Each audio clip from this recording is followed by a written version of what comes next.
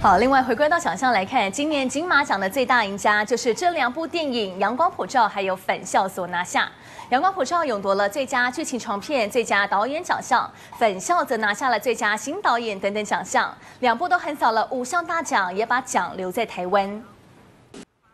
最新的消息来关心新北市华江水门之内，今天聚集了大约有十六辆的机车。原来呢，他们一群人先前就发生了口角，互看不顺眼，因此直接纠正谈判。没有想到两名少年就遭到拿西瓜刀给砍伤，接着一大群人一哄而散。警方后来以车牌追人，带回了十四名的嫌犯。在新美市贡寮龙洞湾岸边，有一名住在泸州的钓客，原本跟朋友相约垂钓，没有想到人却失踪，就担心这一名钓客是被大浪给卷走，朋友也立刻报案。不过经过了海陆空一整个晚上的搜救，终于找到人了，但也已经明显身亡。好，昨天晚间你有守在电视机前面来关心这一场电影界的热闹盛事——金马奖，在昨天晚间热闹登场。其中呢，最受大家关心的影帝还有影后宝座奖项，来自马来西亚的演员杨艳艳脱颖而出，夺下了最佳女主角。另外呢，演员陈以文靠着电影《阳光普照》里头精湛的演技，夺下了最佳男主角奖项。当然，每一年的金马奖也要来关心红毯上面漂亮的星光。今年的红毯第一美是由演员杨贵妹她所拿下，证明姜还是老的辣。因为呢，评审一致的认为杨贵妹一出场就有影后的气势。至于呢，入围新演员奖项的蔡佳音，则穿着棉花糖女孩在红毯的最佳示范穿着，所以呢，被评审认为获选为红毯的第二美。看完了美丽的女明星，当然要看帅气的男明星。红毯第一帅是谁呢？评审一致通过是颁给永濑正敏。虽然呢他穿的是黑西装而已，不过细节上看起来非常有质感。另外呢，男星吴康仁可以看到穿着灰色的西装打扮，虽然同样也穿出了质感，不过评审认为相较之下少了这么一点惊喜，所以被认为是今年的红毯第二帅。而今年的金马奖金光大道则是由女明星杨千霈接下了主持棒，并且她的搭档是以电影《阳光普照》入围到金马奖男配角奖项的演员刘冠廷，所以呢，今年的金马红毯上也依旧非常热闹精彩。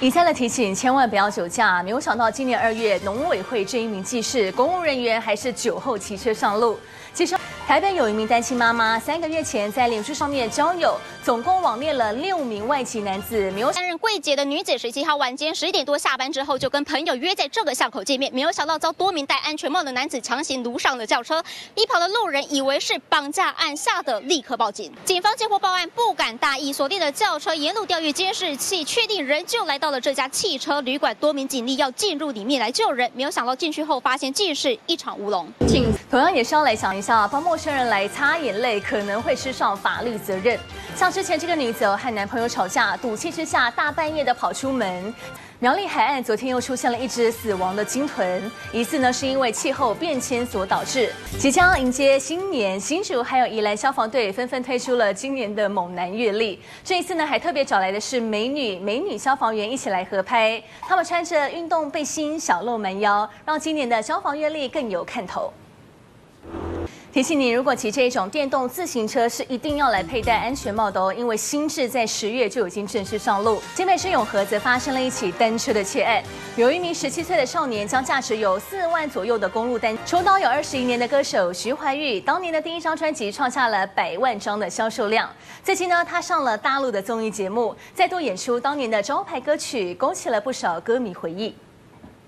而现在进入到网红的时代，韩国有不少网络红人的粉丝追踪量，甚至比已经出道的歌手演员还要高。像这一名呢，在另外有网友则分享了这段影片哦，看起来这个爸爸蛮坏的。家里头爸爸呢站在场上看到的我，可能觉得有点看不清楚，有点模糊，并不是因为我太梦幻了，而是因为我在林口市区这边起了大雾。第一个最大的雾了吧？很舒服啊，我我们蛮喜欢这种天气，很浪漫。因为刚大陆的金鸡奖今年是和金马奖大撞齐，而金鸡奖的现场布置哦也曝光，迎来了网友一阵吐槽。我们就来关心，昨天晚间金马奖颁奖典礼也已经热闹登场。今年的开场表演是由李千娜担任引言，重现电影《返校》的场景。不过旁白就出现了这么一句话，说技术出了问题，电影不能放映，似乎直接在吐槽大陆。而今年金马奖的得奖名单也出炉，其中最佳男配角奖项是由演员刘冠廷凭着电影《阳光普照》而夺下。至于挺着九个月孕肚的演员张诗颖，则抱走了最佳女配角奖项。另外，桃园警方则进行了大扫荡，针对之前年轻男女吸食笑气致死的事件，加强临检旅馆，并且侦破了多个暴力集团。这些成员要不到保护费就泼漆，甚至对空鸣枪，行径相当嚣张。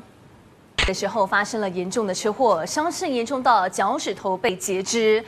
肇事驾驶已经谈好了赔偿金，不过还没有拿到钱，这一名肇事驾驶置之不理，让家属怀疑驾驶是假和解，企图想要拖过六个月的提告期。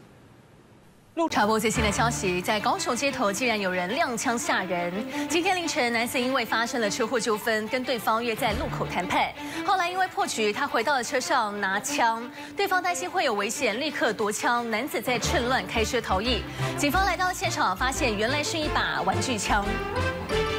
冲到美式大卖场买了羽绒外套，买回家才穿不到十分钟，竟然不断的有细细的羽毛飞出来，还沾满他整件内搭背心。其他的业者看到也说，原来价格比较低的羽绒外套，内里恐怕只有一层而已，所以呢羽毛梗才会穿透出来。昨天晚间，金马奖热闹登场，其中最受到外界关注的影帝和影后宝座，来自马来西亚的演员杨艳艳脱颖而出，拿下了最佳女主角奖项。另外，演员陈以文靠着电影《阳光普照》精湛的演技，则夺下最佳男主角。而今年金马奖的最大赢家就是两部电影《阳光普照》还有《返校》拿下，《阳光普照》勇夺了最佳剧情长片、最佳导演奖项等等。至于《返校》则拿下了最佳新导演奖项。两部电影横扫了五项大奖，也把奖留在台湾。就在台湾金马奖举办的同时，大陆电影盛世金鸡奖今年也是同一天举办，等于说撞齐了，互别苗头的意味非常浓厚。一开场呢，则是由艺人欧阳娜娜现身，包含了其他台湾演员，像王大陆、霍建华，则和大陆艺人同框走红毯。请大家话题起来关心，这一家饮料名店真的金传歇业了吗？之前我们才独家报道，台北公馆商圈这一家知名的黑糖撞奶老店陈三弟，怎么会金传歇业的消息传出呢？因为哦就被发现，怎么已经两个礼拜都没有开门做生意，让附近包含了邻居，还有常常上门来买的客人都觉得蛮奇怪。我们现在再持续来追踪了解，有民众透露，疑似是陈三弟老板的家庭出现了感情纠纷，才都没有在营业。不过目前。目前为止，店家包含了脸书啊，门口都没有看到任何的公告，到底是不是真的就此要吹起熄灯号？态度非常低调。而至于真的确定要熄灯的，则是不少人的回忆。金华城在月底就要关门了，为了要回馈消费者，特别推出了最后营业日的活动，当天免消费可以抽最高一万块的购物金。至于呢，还有这一家在百货公司的影城，过去生意一直都不错，也希望跟客人珍重再见，所以呢，寄出当日的优惠，看电影只要八十八块。另外也是喝酒之后，今天凌晨三点多，这个男子酒醉经过了新北市汐止，竟然涉嫌来动手砸车，而且砸了范围一路还从一百三十三项砸到了一百二十九项，结果总共造成有二十五台的机车遭到他踹倒。甚至我们来看这一个画面，是今天凌晨的最新画面，有一台汽车，大家喜欢吃的东山鸭头，您知道创始地点是在台南的东山，当地还有东山鸭头一条街。原来呢，为什么会发机的？是早期有摊子在。在酒家前面卖卤味，老板的卤味是先炸过再来卖，加上呢，因为鸭头相对比较便宜，成为当地工人最爱，才让东山跟鸭头密不可分。其实呢，在台湾加盟连锁店的生意这么多，各种小吃店都在拼连锁，没有开放加盟的店家到底是如何生存的？来看，在台中有许多老店就不走加盟，靠着家传古法在历久弥新，仍然是在地的人气王。如果你喜欢吃海鲜的话，来看这一些海鲜怎么会从沙滩上被挖出来呢？最近网络流传的这个画面，民众是在沙滩上，还有呢也是要看仔细。最近有一名日本网友在网络分享，他在动物园的企鹅区发现了一起诈欺事件。因为集美市的欢乐椰蛋城在周末举办椰蛋活动挖宝趣的活动，邀请市民来到跳蚤市场选购二手好物，发挥爱心做公益。呃，想要听气象，这雨神封号的歌王萧敬腾最近也在报。最近呢，他帮大陆的气象局拍了形象宣传片，化身成为气象主播，看得出来打扮蛮正式的，口齿清晰，也呈现专业的形象。短短才一分多钟，已经吸引了不少粉丝关注。时间罗马天主教教宗方济各在时隔了三十八年之后，再度要访问日本，而他也在泰国飞往日本途中，分别向台湾、香港和中国致意。最新的消息，有一辆连接车满载冷冻乳品，今天清晨四点多，在国道一号北上苗栗路段翻覆，司机疑似脚骨折，一度受困，还好救出送医，并没有大碍，不过也造成了乳品散落在车道，影响交通。目前详细的事故原因还要进一步调查。另外最新的消息，台铁自强号列车前天晚上在台中的一处平交道撞上了一台车，造成女驾驶因此受伤。不过呢，有人看到了画面，表示女驾驶是在栅栏升起才通过平交道，主因是平交道的栅栏故障才会酿祸。对此，台铁局也发了新闻稿道歉，表示会负责相关的医疗和损失费用。有一处百货商场突然一楼的天花板大面积的崩塌，现场包含了香港反送中运动以来第一次的民选活动，也就是区议会的选举，在今天登场。这一次投票就被视为是香港反送中之后的民意测试，投票时间长达有十五个钟头。香港各个区域也已经高度戒备，慎防暴力事件。我们也在香港观察到投票所罕见出现大排长龙。目前香港最新，一起来看。好的，主播各位观众，因为今天呢是香港的区域会选举，那么不到七点半的时候，其实这里就已经开始排了很多的民众来到现场，大排长龙的排队。其实，在过去香港像指标，而今天的选举将会从七点半一直延续到晚上十点半，长达十五个小时的选举，我们会持续在现场为您守候。主播各位观众，因为今天呢是香港的区域会选举，那么不到七点半的时候，其实这里就已经开始排了很多的民众来向指标，而今天的选举将会从七点半一直延续到晚上十点半，长达十五个小时的选举，我们会持续在现场为您守候。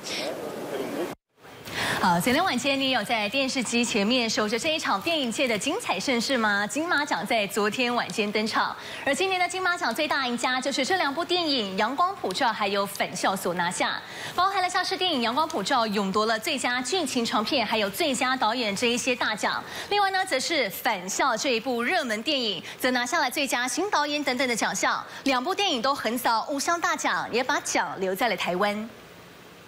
金马奖的颁奖结果出炉，其中最受瞩目的当然就是影帝还有影后宝座。这一位来自马来西亚的演员杨艳艳脱颖而出，夺下了最佳女主角奖项。上台致辞的时候提到恩师，她不免泪崩，坦言说呢，真的曾经想要放弃，不过也说会继续坚持走下去。另外在男主角奖项，则是电影这个《阳光普照》里头的演员陈以文，他精湛的演技哦，是导演出身的，首度以演员提名就夺下了最佳男主角的奖项。